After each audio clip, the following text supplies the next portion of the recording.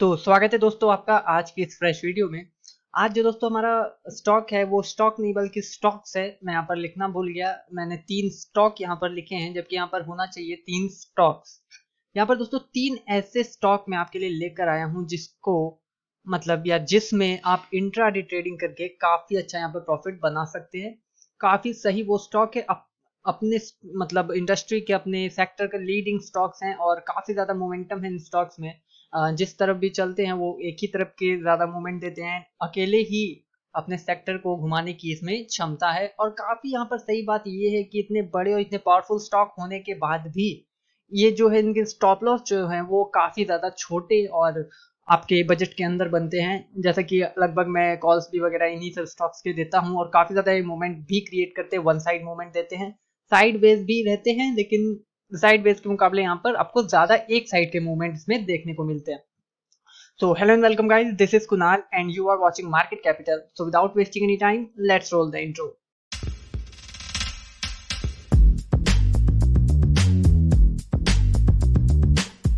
तो दोस्तों वीडियो में आगे बढ़ने से पहले बता दूँ अगर आपको स्टॉक में से कोई भी स्टॉक पसंद आया हो तो चैनल को ज़रूर से सब्सक्राइब करें और वीडियो को लाइक करना हो तो ज़रूर करें एंड दोस्तों, यहाँ पर पहले बता दूँ, मैं यहाँ पर कोई भी मैं इंट्राडे की लेवल नहीं देने वाला, वो मैं आपको लाइव मार्केट में टेलीग्राम कॉल पर प्रोवाइड कर ही देता हूँ। खैर, यहाँ पर मैं जो हूँ, बस वो स्टॉक लेकर आया हूँ और उन स्टॉक के कुछ रिगार्डिंग हम लोग बात करेंगे। एंड यहाँ पर कोई भी लेवल्स नहीं मिलने वाले कि कल इंट्राडे में आप इसको इस लेवल पर ट्रेड कर सकते हैं उस लेवल पे ट्रेड कर सकते हैं। बस ये एक जनरल सा व्यू है जिस, ऐसे स्टॉक हैं जिनको आप अपने वॉच लिस्ट में रख सकते हैं, जो काफ़ी अच्छा आपको इन फ्यूचर प्रॉफिट बनाकर दे सकते हैं। तो चलिए जल्दी से जान लेते हैं वो कौन तीन से वो स्टॉक है।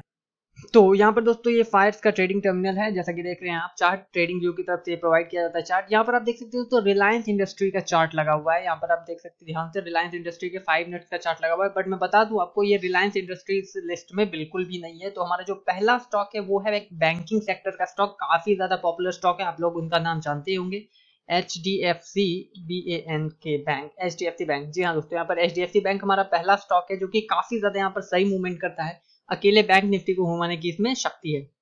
और यहाँ पर मैंने जैसा कि पहले भी कहा और फिर भी कहता हूँ कि स्टॉक में इसलिए चूज़ करके लाया क्योंकि ये कहीं भी आप अगर आप ट्रेड लेते हैं एसएल उसके बाद जो आप एसएल क्रिएट करते हैं सपोज़ दैट हम लोग इस कैंडल पे ट्रेड लेना चाह रहे हैं। सपोज़ दैट इस कैंडल पे ट्रेड लेने के लिए अगर हम लोग पंद्रह सौ बहत्तर रुपए के ऊपर भी अगर बाई करते हैं तो यहाँ पर हमारा जो एस है वो देखिए सिक्सटी एट का लगता है, यानी कि ऑलमोस्ट चार पॉइंट के एस लगाते हैं। मतलब पंद्रह बीस, पंद्रह रुपए का ये स्टॉक है और मतलब पंद्रह सौ रुपए का ये स्टॉक है, उसके हिसाब से एक परसेंटेज लेते हैं तो हम लोग पंद्रह रुपए भी निकल के आते हैं इसका एक परसेंट तो पंद्रह रुपए का भी ऐसा यहाँ पर आपको नहीं लगाना होता, सिर्फ़ चार रुपए, पाँच रुपए का लिए लगाता है, जबकि इतना बड़ा ये स्टॉक है और इतना पावरफुल स्टॉक है, इतना ज़्यादा मूवमेंट करता है, फिर भी।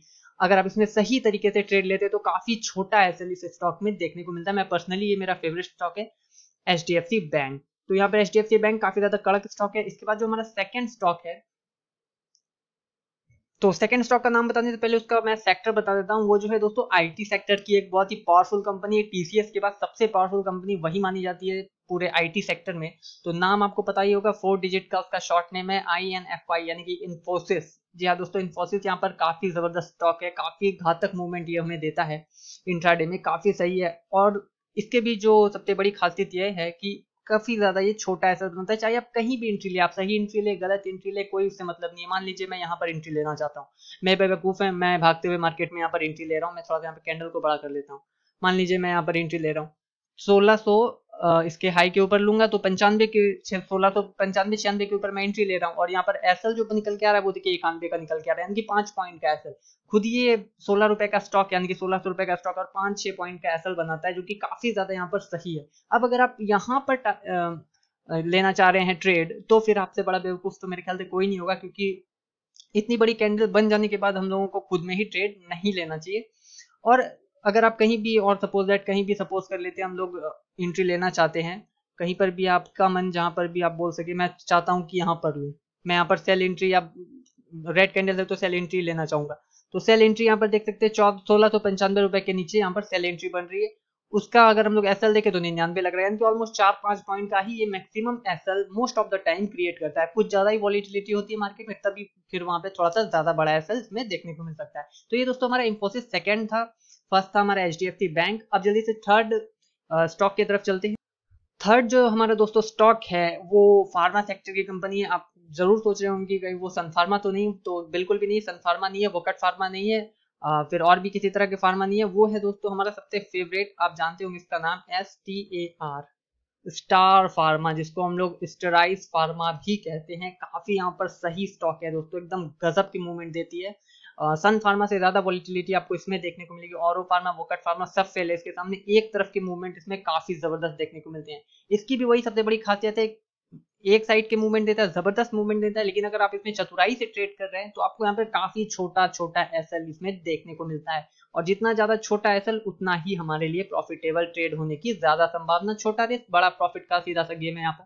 यहाँ पर तो मैं कुछ नहीं बोलूँगा, क्योंकि यहाँ पर साइडवेज मूवमेंट है तो यहाँ पर कुछ कहा भी नहीं जा सकता।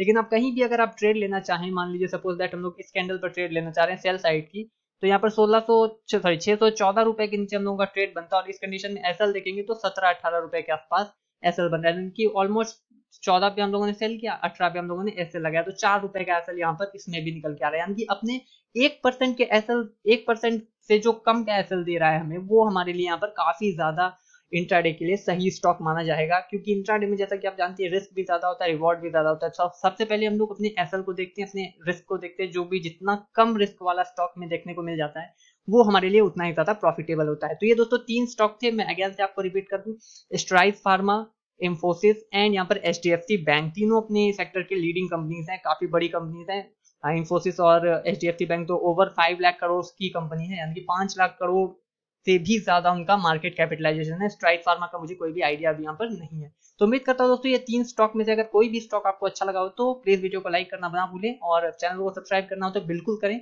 मिलूँगा दोस्तों नेक्स्ट वीडियो में। Till then be happy be safe and goodbye